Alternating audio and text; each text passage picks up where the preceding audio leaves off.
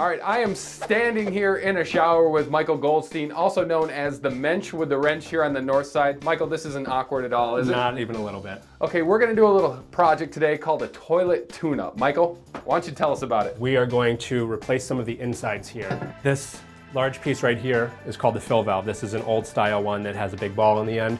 We're gonna replace it with a new modern style that has uh, more of a tower and then a cylinder that goes up. Okay. Does the same thing. This is uh, a little bit easier to work with than um, tuning up these old ones. And we're going to address the issue of the flapper. If you have a, a trickling toilet and then it'll later flush, it usually means the seal on the flapper has gone bad. And we're going to fix these up and get the toilet running new again.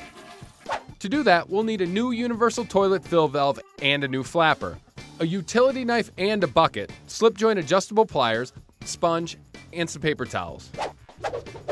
All right, you ready to show us the first step? Yes, the most important thing we're going to do in this project is shut off the water. Okay. If you don't shut off the water, you're going to flood your bathroom. Okay, that's the So- recipe for disaster right there. Exactly. So the first thing we're going to do is reach down here, Okay. and there's a shut-off valve. Yours might look like this. It might have a smaller knob, which just goes in a quarter turn. Now we're going to flush the toilet, drain the water out, and in order to keep going, I'm going to just sop up all the water with a sponge into a bucket so we don't get it all over the floor. Michael unscrews the ball floater to get a better angle and sops up the rest of the water.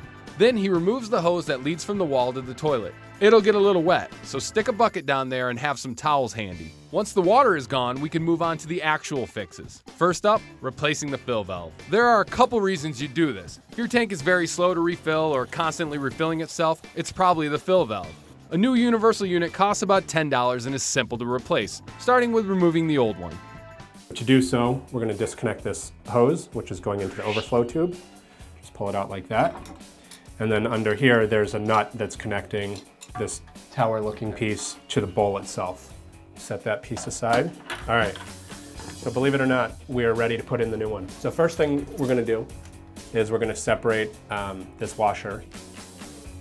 We're going to do that by cutting out the inside, and this is all in the instructions, so you can follow it step by step.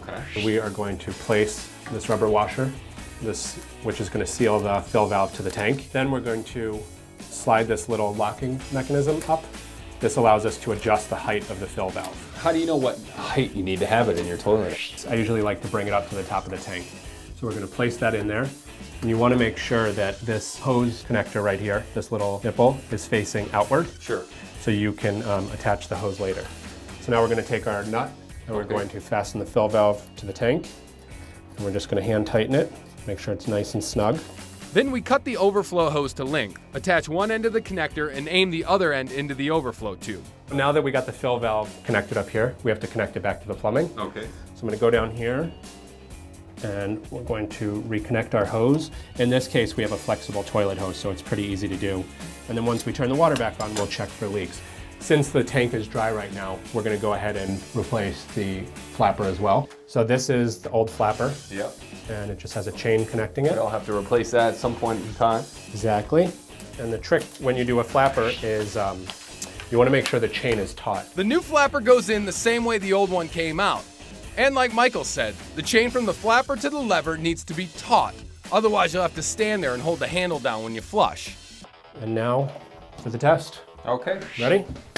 Fill her up. So it's definitely filling much faster than it was. Yes, it is. And that's all because of the, The fill valve. fill valve. Yep. So what we're going to have to do is, when, as it's filling, we're going to have to adjust the height. In a lot of the tanks, there's going to be a water line. In here, we're just using the old water line. Okay. You can see the brown. So by adjusting this little knob here, it's going to allow us to adjust the height and the amount of water that it lets in and out. Michael also double checks that the flapper is doing its job, letting water in on the flush and sealing when it's supposed to.